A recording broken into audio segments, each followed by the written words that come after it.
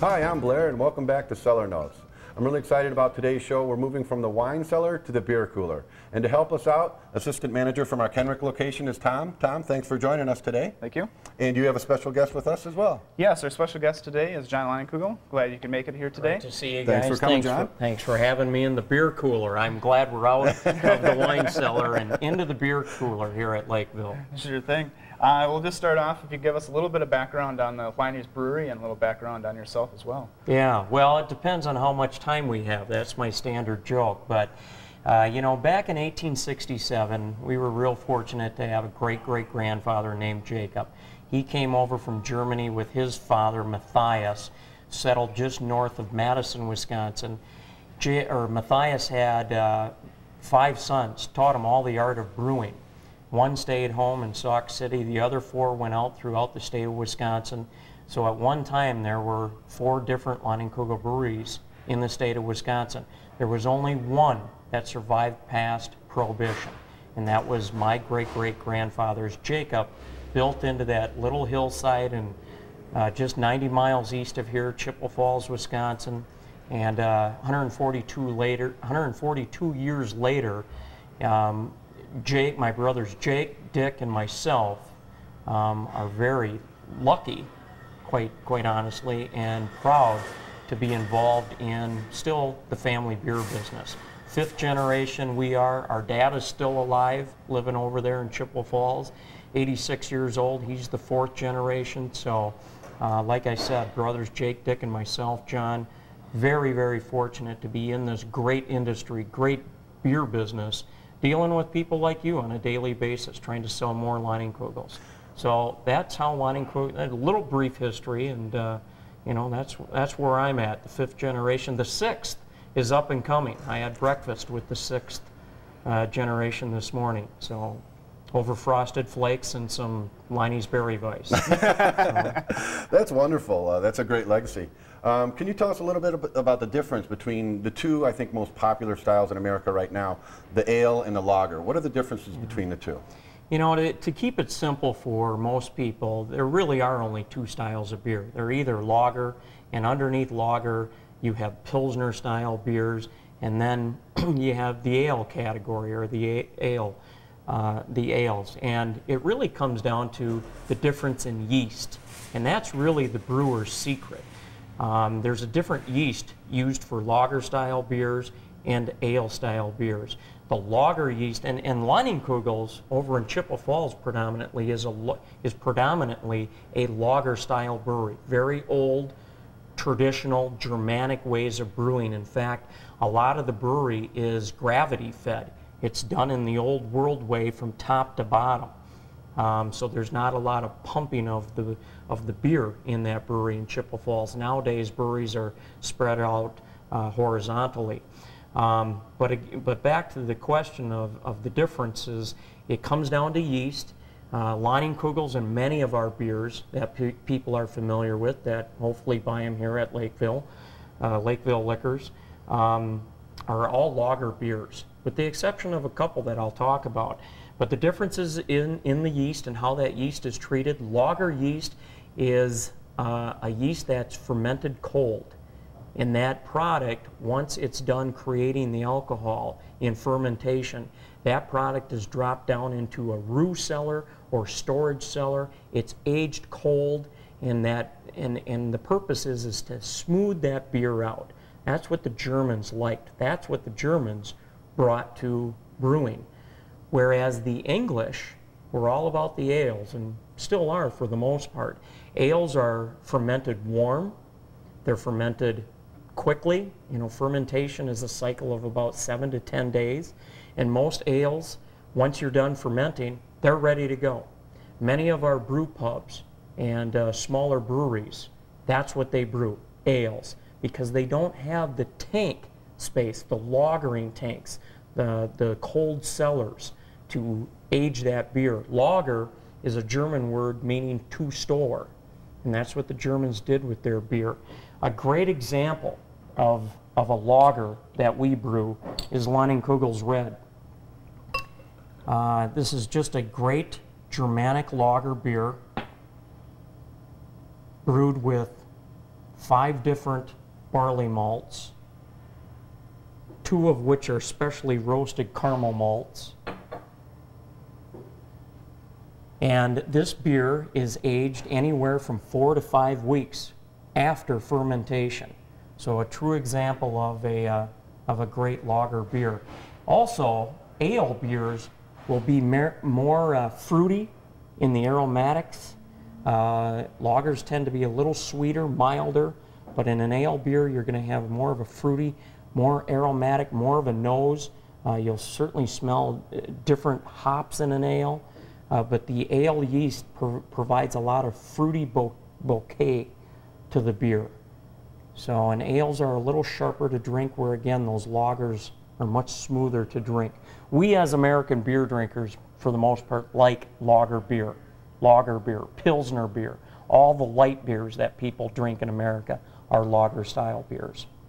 Well, let's move on to uh, wheat style beers. We know that that's probably one of the most popular beers, uh, styles of beer coming up today. Uh, maybe you could go into a little bit of the wheat style that you have in front of us here and go into depth on how that compares with ales and lagers. After my long uh, explanation of lagers and ales, I almost feel like I need a break uh, in, in tasting one of these great beers. But, you know, Tom, you said something really interesting in that uh, the wheat beers, and we have four here today, and, and at Kugel's, we, we like to call it our wheat portfolio of honey, berry, sunset wheat, summer shandy. Um, but it's interesting that you asked the question you asked because this style of craft beer, the wheat beers, it's the fastest growing category or style in craft beer, uh, is wheat beers. They're, they're predominantly very, very drinkable, very crisp, clean, again, very drinkable, refreshing beers. And that's what we as American beer drinkers like. But what's unique about wheat beers, and you'll see it in the pours, and I'll explain some of the ingredient differ differences as well. One of my favorite beer glasses, by the way, is a true wheat beer glass. And uh, I like to pour my beer straight down the middle, give it that nice big head to break up all the bad CO2, or all the CO2. It's not bad. CO2 provides effervescence, little life on the tongue. But uh, I like to pour my beer straight down the middle to break up that CO2. It allows you to drink a better tasting beer, a beer that isn't so filling. You're going to taste and smell more of what the master brewer wanted you to experience. You know, we were all taught back in college or in our, you know, youth when we were over 21 years of age, you know, you pour beer down the side of glass, don't give it any head, otherwise you're cheated. That's really the wrong way to drink beer. This is the right way to drink beer. Don't be afraid of a little head. That's a good thing. It's profit for the bar owner, but it just looks better. That's a much better presentation than, well, even if you look at our Leinie's Red, the head's flattened out a little bit. This certainly looks a lot more appetizing than this. But wheat beers, Honey Weiss is an example of a crystal Weizen, which means it's a filtered wheat, and we use a different malt. That's, that's really what it comes down to. You know, here's a pale brewer's malt right here. And uh, you can just see a little bit of the grain there. That's pale brewer's malt. We use that in all of our beers. And here, I'm going to let our viewers see the difference here. It's really a, a different type of kernel.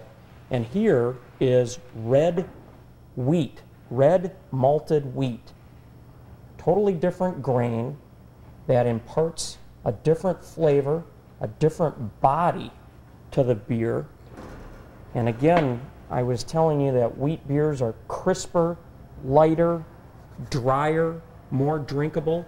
A lot of that is from the difference in the two in the two wheats. While we still use a little malted barley in our in all of our wheat beers, they're predominantly malted wheat, and that imparts a, a different taste profile that I think is just quite honestly more drinkable and more refreshing than John, any other style out there. Let me ask you real quick: if if it's not a wheat-based beer, what is the basis? Is it rice? Is it primarily barley? Is it something Know? Other than that? Great, great, great question, uh, Blair.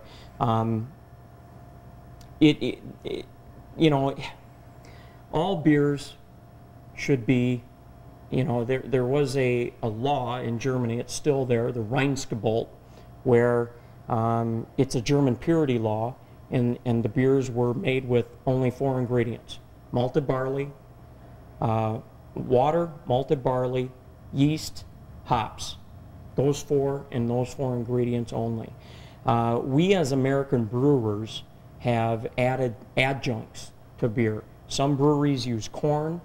We use a little bit of corn in some of our beers, but it's not the basis for the beers. Um, there's a brewery in St. Louis, Missouri that uses a lot of rice as a adjunct, and it's just a different way to get your fermentable sugars.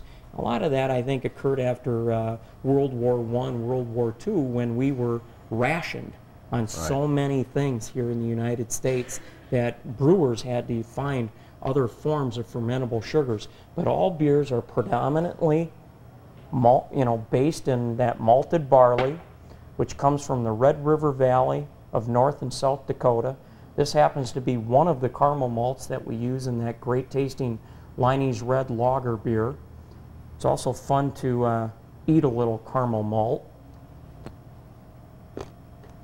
The brewmaster will do that to taste the freshness of caramel malt, but caramel malt tastes a lot like grape nut cereal.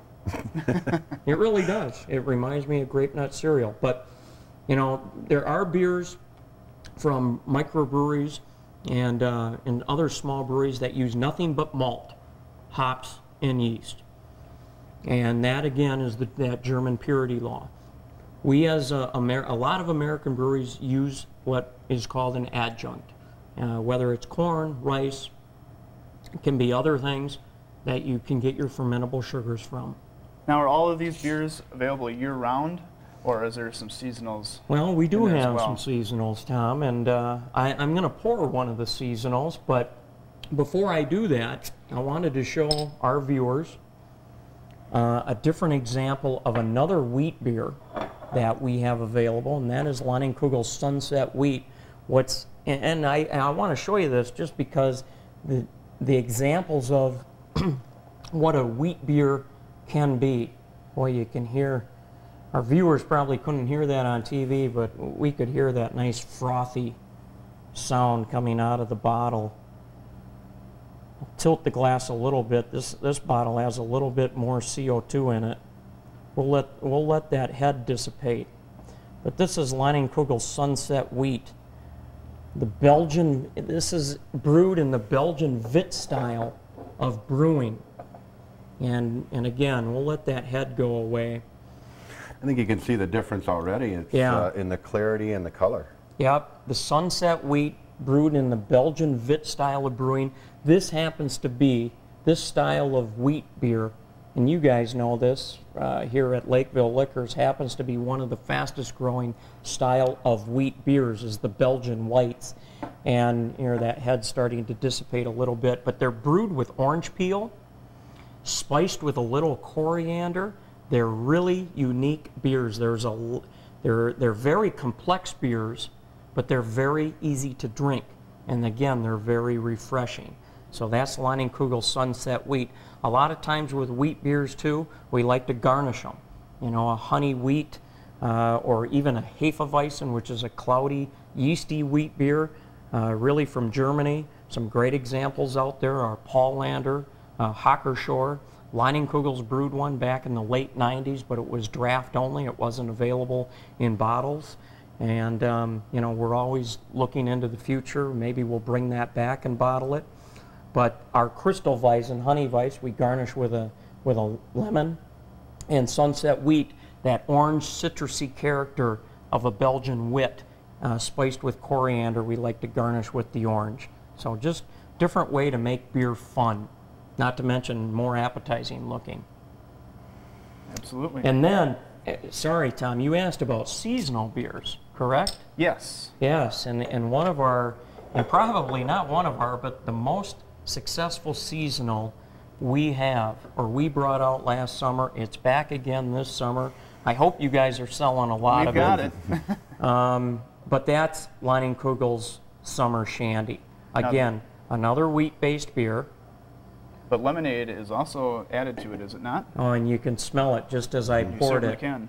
Um, but this this summer shandy is a beer that is flavored with lemonade, a wheat beer flavored or mixed with lemonade. And in all honesty, the Germans would call that a Radler, R A D L E R. I think my brothers, my two older brothers, being the brain trust at the brewery that they are, they loved the way shandy sounded, summer shandy. So we called this a shandy. It's not totally true to style in that a shandy from England, which is where shandy is from, is beer flavored with a white soda, 7 Up or Sprite or even orange juice. That's a true definition of a shandy. But a shandy in the world of Leinenkugel's can be anything you want it to be, and we like it that wheat beer mixed with a little lemonade, and uh, it's become our fastest growing and our best selling seasonal beer we've ever introduced. And this is one example of, of the seasonal um, offerings that, that come from Leinenkugel. What are some of the other seasonal offerings you have? Do you have an Oktoberfest or a Bock beer or anything along those We lines? We do, and uh, I know one of our fine uh, camera operators this morning absolutely loves uh, Leinenkugel's Oktoberfest. And that'll be back out after summer shandy season is over with at the end of August. September, October, we have a great Oktoberfest. And uh, you know, I, I, think you may ask me a question later about what we have new, but uh, I know a lot of the drinker, beer drinkers here in the Twin Cities uh, re recall and remember Apple Spice and how much fun we had uh, introducing a beer with apple and cinnamon, but that was a holiday seasonal, November, December, and then in those late winter months and early spring months, January through March, we have always had traditionally a Bock beer you know, a real heavy Germanic malty Bock beer. So those are some of the seasonal beers we uh, currently have available. As long as you uh, let the cat out of the bag, why don't you fill us in? What is coming up from Leinenkugels? What can we look forward to in the near future? Well, Blair, I let you ask the question, so I didn't steal your thunder. But uh, right now, uh, Brother Dick is, uh, as Jake and I like to say, in his basement working on our next seasonal which will take the place of Apple Spice. Uh, Apple Spice will not be back out this year in uh, November, December. It's going to be a new nut brown style of beer. Uh, I've had two versions that we currently brewed, and I really liked one more than the other. We got some work to do on it, but I know that our master brewers are certainly more than up to the task of getting this style uh, perfect and right on, and uh, it's pretty exciting that uh, we're working on a nut brown style, uh, perfect for uh, the holiday season, November, December. So we're always working on something new, and uh, at Leinenkugel's, and and we also came up with something new that many of the viewers probably don't know about, and I thought it would be fun to at least talk about it and show it today. And that's not on the counter. That's hidden under the counter. but so many Leinenkugel fans and drinkers um, and, and, just beer aficionados that shop here at Lakeville Liquor uh, want to know, you know, what, what is new, what's out there, what's coming, what's coming from Leinenkugels. A year ago, we introduced a brand called Big Eddie, And the first Big Eddie beer was a true Imperial IPA. A beer that had so much hop in it, it was overly hopped on purpose. You could smell the hop aromatics uh, the pine, the grapefruit from across the room. You really could. Just a wonderful beer.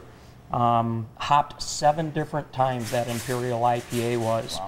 Wow. Um, the second flavor we came out with this past uh, winter and spring was this Russian Imperial Stout. And we bottled this one. And uh, I hope when we can get the hops again to brew this beer, uh, due to the hop shortage that many beer drinkers know about, we can no longer brew this beer, or we can't brew it right now. In fact, uh, my, me, myself, John Leinenkugel, I only have four bottles of it. Uh, and I thought I would give one for you guys to uh, share and experience after we get done uh, doing our, uh, our informational, educational show here in the beer cooler. But this Russian Imperial Stout, I'm not going to pour it, but just really uh, what we would call a big beer and really something very unique. Uh, this, this Russian Imperial Stout uh, it pours black. You can't see through it. Even the head is has a caramely color to it. Does it have any carbonation at all? Oh yeah, there, yeah. There's some carbonization. Anytime we bottle or keg something, uh, there, there's some carbonization to it, and you'll see that when you pour that. But this is a style. The, these are a, a, a brand name of beer, Big Eddie, and a style of beer, big styles, big extreme beers they're called, that we're working on at Kugels. So this is this is a style of beer that, that you guys are experimenting with and working with and, and bottling in limited quantities right now. Unfortunately, it's not available in this area. Mm-hmm. But maybe if the hops market comes around, we can uh, you can continue to develop something like this, and, and we can see something like that in the future. Um, Yeah. John, I want to thank you so much for being Thanks, with us today in the, my pleasure. the beer cooler. Yeah. Thank you, Tom. Tom, thank you for being with having us. me here. Thanks, Mike. And thank you all for being with us Thank you. again on Cellar Notes.